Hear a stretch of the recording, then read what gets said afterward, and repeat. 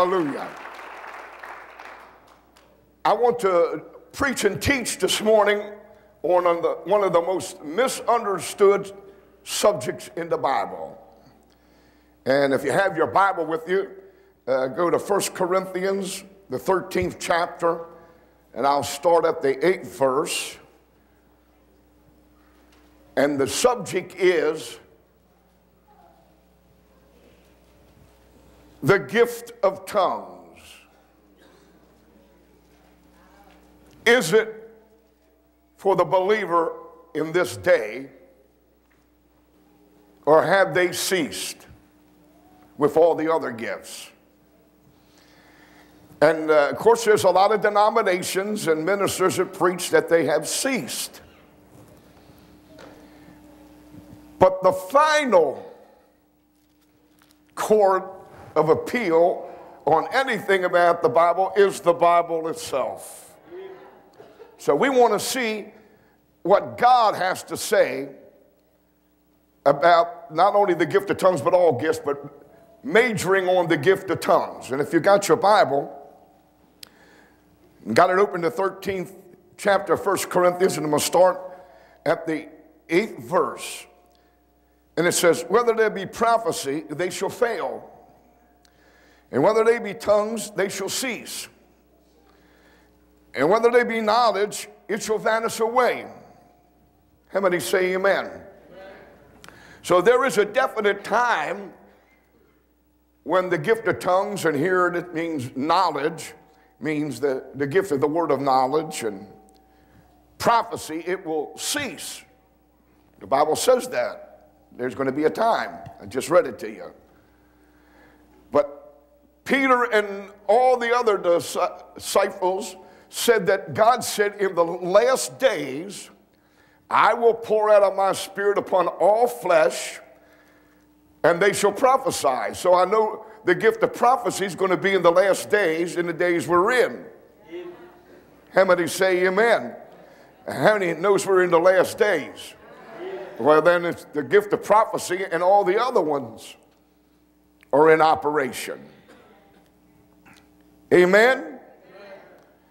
And the reason why is that these gifts shall cease is because they only bring us partial knowledge. God is speaking to us partial knowledge. No one has all the wisdom and knowledge of God per se. We're in the dark about a lot of things.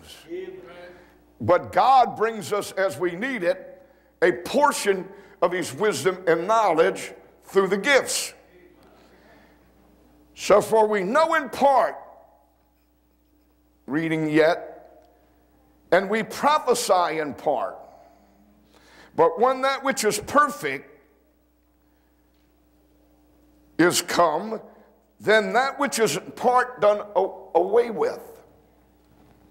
Until the perfect knowledge of God comes, the complete knowledge of His revelation comes, God still has to speak to us by prophecy, word of wisdom, word of knowledge, and tongues and interpretation. Now, Paul said, he didn't know it all. How many say amen? And he had to depend on God bringing revelation and inspiration to him. Amen. How many say amen? And I want to go to the 12th verse now. Now, say now. We see in a glass darkly. How many say amen? amen? For now we see through a glass darkly. And the word darkly here means, the Greek word is enigma. We bring an enigma over into English, and it means a riddle. Now we're looking into the perfect law of liberty, the Word of God, but a lot of things are just little shadows. We don't see the clear picture. Like a Polaroid, when it's first shot, you don't see the clear picture. How many say amen? So, right now in the church dispensation, God is still speaking to the church partial wisdom and partial knowledge of his com- overall complete plan. It's a riddle. A lot of things to me are a riddle. How many say amen? I don't know about you, but to be honest, a lot of things are a riddle to me. I don't see it all clearly. But then it says, when this perfect knowledge comes, but we shall, then Paul said, then shall I know even as I am known. When I get this full revelation, I'm going to know everything even as I'm known by God in everything. And I'd like to have the person in this building, and even you out in television land, I can't see your hand, but I can the ones in the building, raise your hand if you knew everything. Because if you do, I want to see you after the service. I got some things I want to ask you. now, say now. Now, in this church dispensation, God is revealing his full plan and his knowledge and wisdom through the gift of prophecy, tongues, and interpretation, and word of knowledge and word of wisdom. And until the perfect knowledge, complete knowledge comes, we're only going to know in part. And we can only prophesy in part. How many say amen? And when will we know complete knowledge. It says in the last part of the 12th verse, but then, for now we see through a glass darkly, but then face to face. How many say amen? When Jesus comes, the riddles will be answered. We'll be seeing him face to face, and he will not have to speak to us when he sets his kingdom up on the earth in prophecy, in word of wisdom, in word of knowledge. He'll be here disseminating his revelation. Like Paul said that in another scripture that God's through the ages is going to use Jesus to show his eternal plan and purpose. So right now, I'm not seeing Jesus face to face. The Greek says prosopon, pros, prosopon. Prosopon means face and eye, face and face and eye. We're going to be right up to God, huh? We're going to be looking right, right at Jesus, my face and eye, looking at his face and eye. And he will be giving me his complete knowledge. I won't have to ask the Lord for a word of wisdom or a prophecy. You know, we got people running over wanting a word. No wisdom. We'll have the full knowledge. How many say amen? amen? You just know in part. And like I said a little bit ago, if you know it all, I want to check you out after the service. How many say amen? So, the gifts of the Spirit are going to last even these last days of the church age to the very day that the Lord takes us out of this world and then brings us back. How many say amen? amen. And we'll have face to face from him, just like when he arose from the dead and appeared to his disciples and apostles, and he give him a 40 day postgraduate course. And what he did then was open up all of the scriptures that was uh, seen in a glass darkly in the Old Testament, it was an enigma. He opened up all of those scriptures to them. How many say amen? The old covenant that didn't see the church with the Gentile as a joint heir, huh? As an equal heir with the Jew. They didn't see the new man made of Jew and Gentile. How many say amen? All they knew was two groups of people under the Old Testament, and that was the Jew and the Gentile. But in the New Testament, there's three groups of people the Jew, the Gentile, and the born again, made of Jew and Gentile, a new man. How many say amen? But a lot of the mystery, and a mystery in the Bible doesn't mean something you don't can't know, but it means something you do not know except God gives you revelation. And a lot of mystery in the New Testament, we only will know it as the Spirit of God speaks to us in the word of wisdom, word of knowledge, and prophecy. Even when Paul raised up, Um, God raised up Paul to be the apostle to the Gentile, Peter just couldn't understand a lot of things that he was preaching. You know, there's two gospels, don't you know? There's the gospel to the Jew, and Peter was the main apostle. Then there's the gospel to the Gentile, and Paul was the main apostle. And Peter in his letter said, Listen to Paul, his prophecies and teaching or scripture sometimes hard to understand. He was still seeing a lot of things of the New Testament revelation. You see, Paul had a, God had to take Paul in the third heaven, and there with God, Jesus face to face. He was right face to face with Jesus, and Jesus gave him the revelation and the program for the New Testament church. And as things came on the scene later, God had to speak in prophecy and word of wisdom and word of knowledge unto the church and the leaders of the church and the people of the church. So we need the gifts now. I would hate to think if we didn't have the gifts now, we're in the last battle of the last days when the devil's throwing everything into battle and we got to fight him without any weapons. Huh? Because our, the gifts are our weapons to defeat the devil. You know, when God says, Thus saith to me, I don't care what thus saith you. When God says, Thus saith to me, I don't care what thus saith anybody else. How many say amen? Because my faith and my salvation is built on, Thus saith the Lord.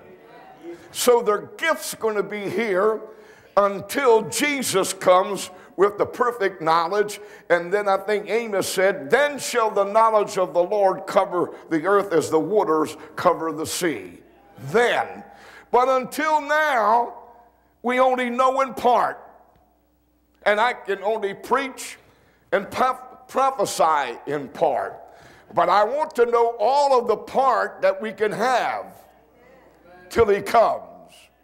And when we uh, go to heaven, somebody said, Well, what's one of the reasons why he went to heaven? I believe the reason why he's going to go to heaven so that he can take the whole church and open up the whole plan that he's going to bring into operation so that when we come back, you know, we can set the kingdom up. How many say amen? How many's looking forward to him coming? And I tell you, if we're not in the last days with all of the wickedness, the terror, huh? With all of the wars, with all of the things happening in nature, tsunamis, mudslides, floods in our nation. How many say amen? If uh, these aren't the last days, I don't think I want to be around here for the last days. And all the wickedness and all of the demon powers that are raging out there. So, God can only speak to us now in part. But I'm looking forward and I'm hungering for that day, then face to face. When I come back with the Lord, I won't have to pray. How many say amen? I'll be right there with him.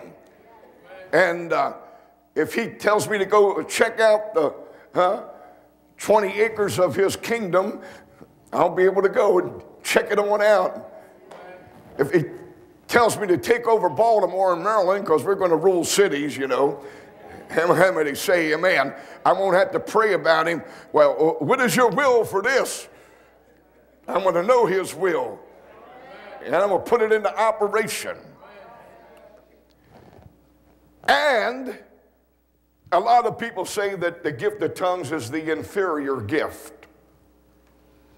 And that if people speak in tongues, they're speaking gibberish. How many say amen? Let me ask you a question. Do you think the Holy Ghost would give any gift that's inferior? And do you think that anybody speaking by the Holy Ghost is going to speak gibberish? How many say amen? And the reason why the devil fights it and tries to put a stigma on it, because he knows, listen to be careful now, that the individual, the greatest gift to the individual is the gift of tongues. Amen? It's the greatest gift to the individual. And the reason is two things. The reason is he that speaks in tongues speaks to God. You, you got a connection to God. And remember, John said, if we know that he hears us whatsoever we ask, we know we have the petition that we desire him. And he that speaks in a tongue edifies himself. And that means spiritually uplifts and advance. Him I thank God I'm like Paul. I speak in tongues more than you all. That's what Paul said. They were trying to say Paul was limiting them. He wasn't limiting them. He said, Permit not to speak in tongues, and I speak in tongues more than you all, but in the service, I want to speak words in your language that you understand. And that's why prophecy is greater in the service than tongues, except tongues are interpreted. And when tongues are interpreted, they equal prophecy. Huh? Thank God I got something in all of the pressure and in all of the battle in this last day that um, almost like Paul pressed out of measure. Thank God, God gave me a gift that I can get away in my closet and uh, speak directly to Him secrets. Huh? How many say amen? And build myself up and then come out of my closet singing, uh, I feel like traveling on. I feel like pressing on. I feel like fighting on. How many say amen? So, contrary to what the detractors say, because the devil knows it's the greatest gift to the individual, building herself up. Just like to the whole church body in the service, prophecy is the greater gift because it builds up the whole church. It's kind of Ironical that if it's no such a good gift, how come it's the first one God gave? How many say amen?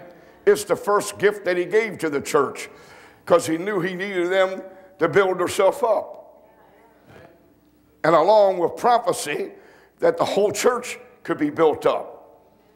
How many say amen? He told them after his 40 day postgraduate course, says, Now I want you to tarry in Jerusalem until you be endued with power from on high. I think that's Luke 24 49. And I checked out the word tarry. You know what the word is? Sit.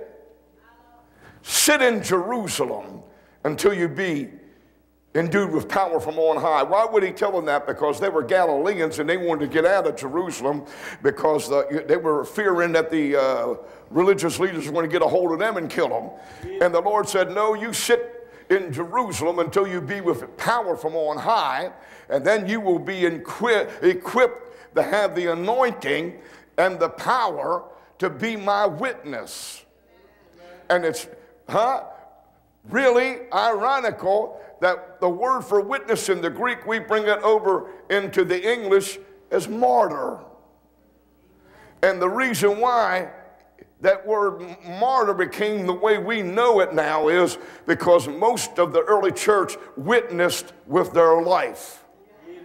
How many say amen? Be my witness. Huh? Witness that I'm not in the tomb. Witness somebody didn't steal my body. Witness on the third day I rose from the dead. Witness I'm alive forevermore. Witness I'm the Alpha I'm the Omega. I am the first and the last and the beginning and the end, and I am he that was dead, but I am alive forevermore, and I have the keys and the authority to the greatest enemy of mankind, death. How many say amen? Don't let your heart be troubled, huh? When you're down and out, run in your prayer closet, turn on your gift of tongues, get a direct connection with God have a little talk with Jesus, tell him all about your trouble. He will hear you, he will answer you, and you'll come out, like I said, singing, I feel like traveling on, I feel like pressing on, I feel like moving on. First gift given to the church. For when the day of Pentecost, huh? Now, first of all, Acts 1 8. Jesus said, after the 40 days, you wait in Jerusalem. You stay there. And it's an intensified word in the Greek. Don't you go anywhere else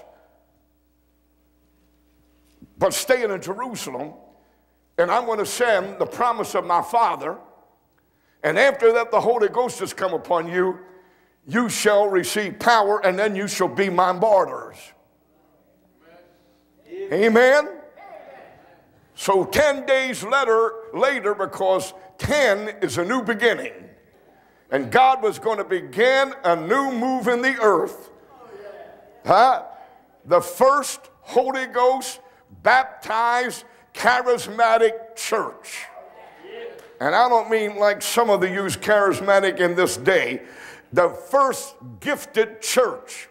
Every church that God has raised up in this last days is a charismatic church with all of the gifts in it, including speaking in tongues. How many say amen? And what happened? You know that famous scripture in Acts 2 4, uh, and it said, And there came a sound from heaven uh, like a mighty rushing wind, and sat on each of them, uh, and the place where they were what? Where they sat. See, he told them in Luke 24 19, sit. And then here comes the Holy Ghost sitting in the book of Acts. They're sitting there waiting for him. How many say amen? If they ran out of strength to pray, they just sat there. Amen. And clothing tongues like as fire sat on them. And they began to speak in other tongues or languages as the Holy Ghost gave them what to utter, and He didn't give them to utter no gibberish. For the Greek word here to utter is only used four times in the Bible. And it means to speak high and lofty, noble and great, deep things of God. Hallelujah you need the baptism of the Holy Ghost. You need to be able to speak the high and lofty things and revelation of God. You know, you really can't give a real witness to somebody that you're testifying without some power and anointing on you. Amen. And God gave the first gift to the church with power and anointing, and they prophesied so that they could witness that he is not in the grave. The reason why the devil hates tongues, because tongues says he is risen. Every time you speak in tongues, it says he's alive, he's risen. Because Jesus said, uh, that if I don't go, the Comforter will not come. But if I go, I will send him. And that's proven that he sent the Holy Ghost. Every time you speak in tongues, you are saying. He's alive. Hallelujah. He's alive. He's the Alpha. He's the Omega. He's the beginning. He's the end. And He's everything in between. Oh, I thank God for His gifts. Hallelujah. Oh, praise Him, praise Him. I got it. I'm like Paul, I speak in tongues more than you all. Hallelujah. Another good clap offering.